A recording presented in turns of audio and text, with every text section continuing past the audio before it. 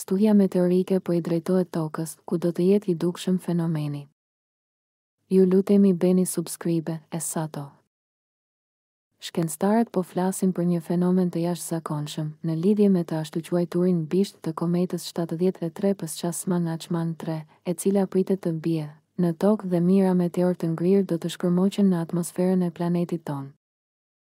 Fenomeni pritet të bëhet i dukshëm në veri të Shteteve të Bashkuara dhe disa pjesë të Kanadasë të martën, më tridhjetë e një tetor dy mijë e njëzet e tre.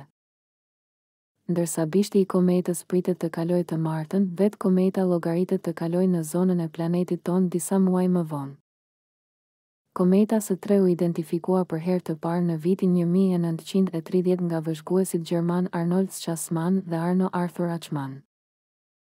Me kalimin e kohës, kjo kometë po zbehej gjithnjë e më shumë, por në vitin një mijë e nëntëqind e nëntëdhjetë e pesë papritur u bë gati katërqind herë më e ndritshme dhe ishte e dukshme edhe me sy të lirë.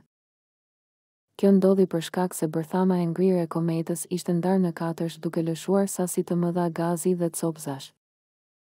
Sidoqoftë, deri në vitin dy mijë e gjashtë, kometa e shkatërruar u nda në gjashtëdhjetë e tetë pjesë dhe ndoshta është copëtuar edhe më shumë që atëherë. Kometa nuk paraqet rrezik për Tokën.